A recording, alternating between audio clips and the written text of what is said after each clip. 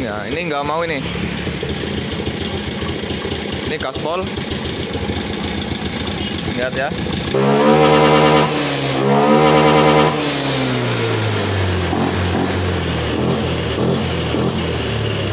Nah, ini udah sangat responsif ya, teman-teman.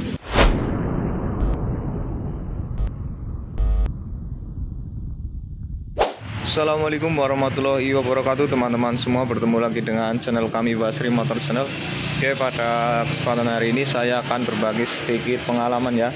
Di depan saya ini ada Honda Scoopy.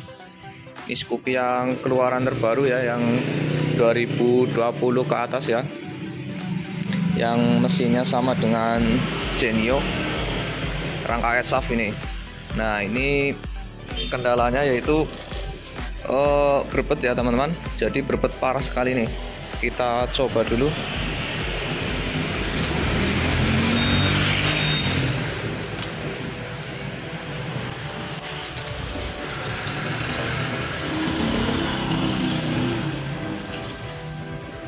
Ini tombolnya agak error ya.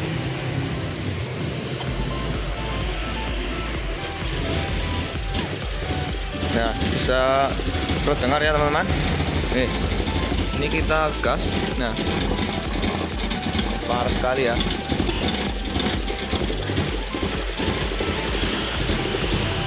Ini gas baru sedikit nih.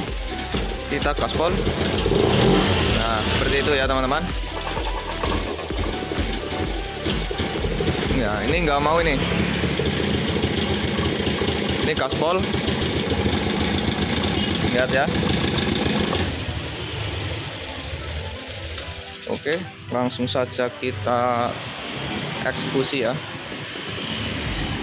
Nah ini untuk langkah pertama ya. Ini kita cek bagian ini ya soket businya. Nah ini masih bagus nih teman-teman. Untuk soket busi. Nah ini masih bunyi nih. Berarti tandanya masih kencang ya teman-teman. Nah tuh untuk ini udah businya udah, udah saya cek. Itu masih bagus ya teman-teman. Terus untuk langkah selanjutnya itu kita cek ini nih. Tekanan full pumpnya ya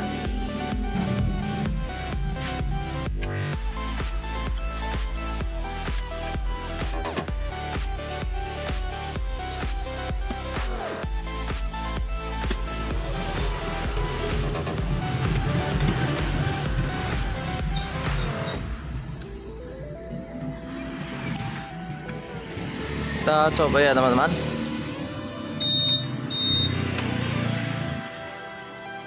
Nah nih bisa terlihat. Sini di angka 30 lebih ya. 30 lebih itu masih aman ya teman-teman. Kalau di bawah 30 itu baru bermasalah ya. Ini untuk uh, full pumpnya masih bagus ya teman-teman Nah terus kita coba reset ya. Kita reset dulu. Ini saya pakai DLC ini.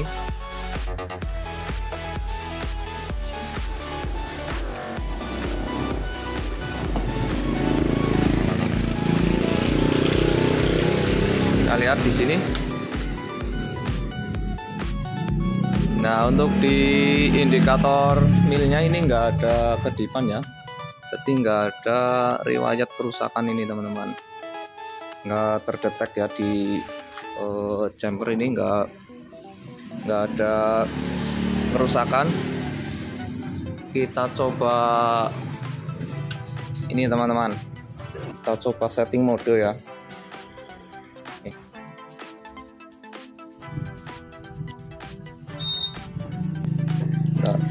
maaf ya teman-teman. Ini saya atur tripodnya dulu. Susah nih. Ini kita tarik gas full terus putar kunci kontak ke arah on.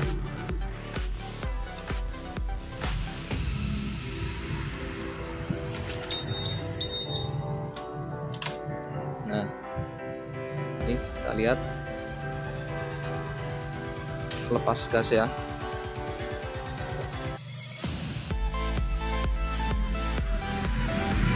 ini udah selesai kita setting mode. Kita coba dulu ya teman-teman. Seperti apa? Mungkin uh, cuma kita reset saja. Bisa sembuh ya. Kita coba dulu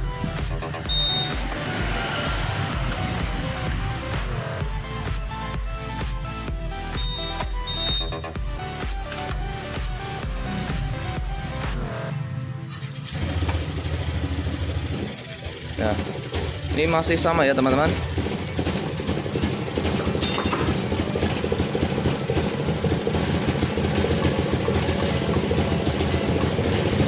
Nah, ini untuk tekanan full pump juga di angka 40 ketika mesin nyala ya.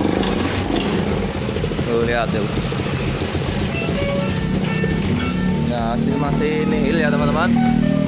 Untuk langkah selanjutnya ini kita coba cek di bagian injektor ya teman-teman. Kita cek di bagian sini injektor nah untuk sensor TPS ini kemungkinan besar nggak bermasalah ya karena kalau sampai parah seperti itu biasanya muncul kode kedipan 8 ya. Nah ini nggak ada berarti uh, untuk sensor TPS nggak bermasalah ya. Kita coba dulu cek injektor.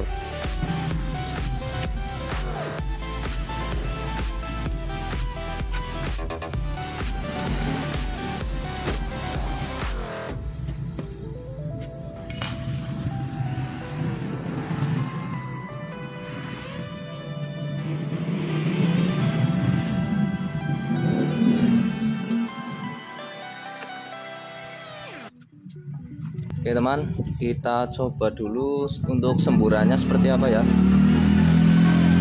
Ini kita pakai media kardus ini untuk melihat ya. Kita coba dulu.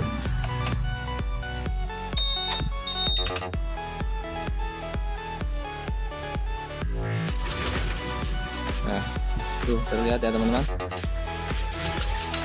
Nah itu semburannya agak uh, nyebar ya teman-teman. Tuh lihat. Bentar. Tuh. Lihat. Jadi nyemburnya berubah-ubah ya? Enggak fokus ya? Ya ini dipastikan injektornya yang rusak ya teman-teman. Kita coba dulu pakai yang baru nah ini. Ini saya pakai injektor punya Vario 125 ya. Nih yang kodenya KZR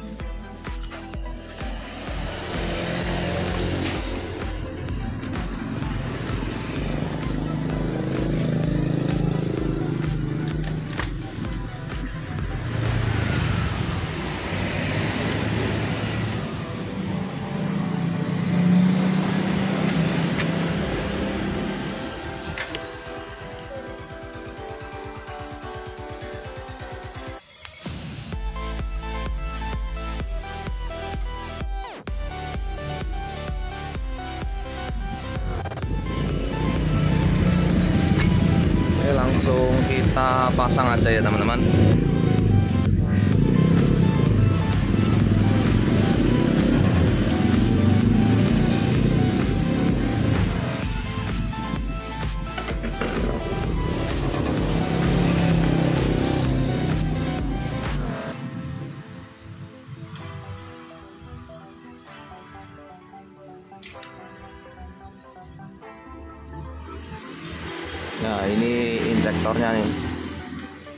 tinggal kita cabut seperti ini.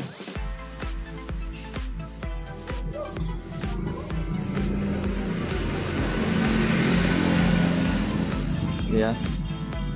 Sama nih teman-teman.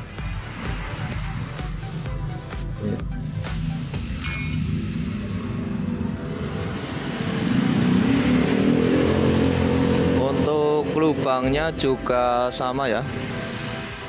Sama-sama 6 lubang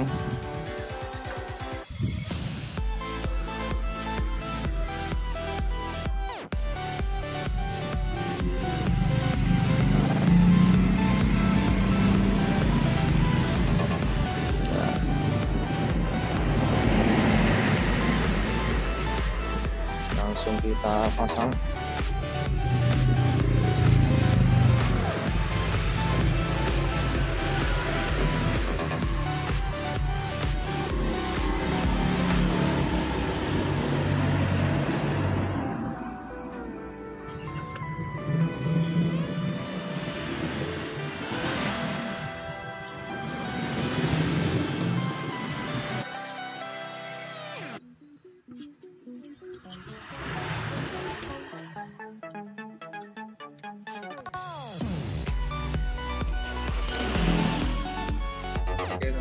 Teman ini udah terpasang ya. Kita coba nyalakan.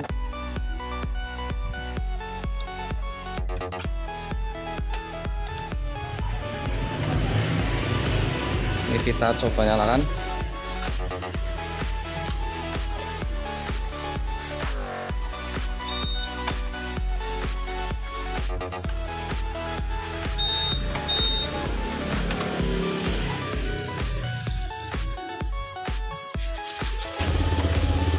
Nah, ini udah nyala nih.